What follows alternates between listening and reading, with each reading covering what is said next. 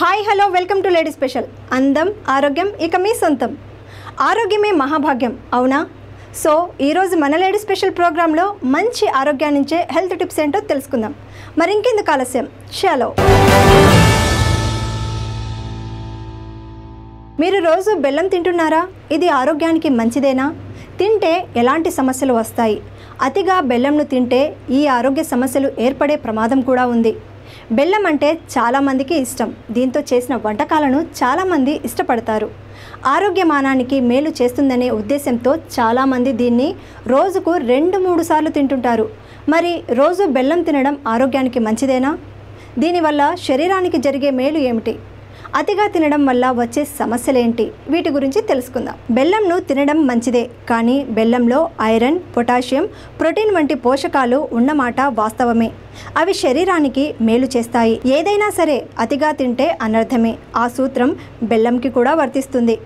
ముఖ్యంగా డయాబెటీస్ వంటి దీర్ఘకాలిక వ్యాధులతో బాధపడేవారు తప్పకుండా దీనికి దూరంగా ఉండాలి. ఇది రక్తంలోని ట్రైగ్లిజరైడ్ను పెంచి ప్రమాదం ఉంది శరీరంలో బ్లడ్ షుగర్ లెవెల్స్ పెంచేస్తుంది. స్వీట్స్ లేదా చక్కెరకు ప్రత్యామ్నాయంగా బెల్లంను వాడవచ్చని చాలామంది భావిస్తారు.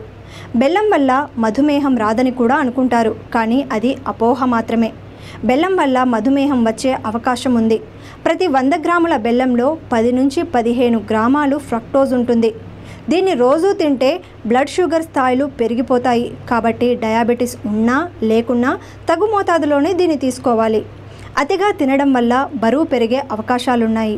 ఫుడ్ డైట్ తీసుకునేవారు కొద్దిగా బెల్లం తీసుకోవడం వల్ల సమస్య ఏమీ ఉండదని చెబుతారు నిపుణులు. అయితే మోతాదుకు మించి తీసుకుంటేనే అసలు సమస్య మొదలవుతుంది. బెల్లంలో ఫ్రక్టోజ్ గ్లూకోజ్లతో పాటు క్రొవ్వులు ప్రోటీన్లు కూడా ఉంటాయి. వంద గ్రాముల బెల్లంలో సుమారు మూడు వందల ఎనభై మూడు కెలోరీలు ఉంటాయి. బెల్లం తింటే శరీరంలో రోగ నిరోధక శక్తి పెరుగుతుంది. జీర్ణ వ్యవస్థను ఇది బలోపేతం చేస్తుంది. కానీ అదే పనిగా తిన్నట్లయితే జీర్ణక్రియ అదుపు తప్పి మలబద్ధకానికి దారితీస్తుంది కాబట్టి బెల్లం మోతాదుకు మించి తినకుండా శరీరానికి ఎంత మేరకు అవసరమో అంతే తినండి. ఏదైనా లిమిట్స్లో తీసుకుంటే మీ ఆరోగ్యం ఇక మీ చేతుల్లో ఉన్నట్లే. చూశారు కదా ఇవాల్టి హెల్త్ టిప్స్ని? మన లేడీ స్పెషల్లో మరికొన్ని టిప్స్తో మళ్ళీ కలుద్దాం. Bye bye.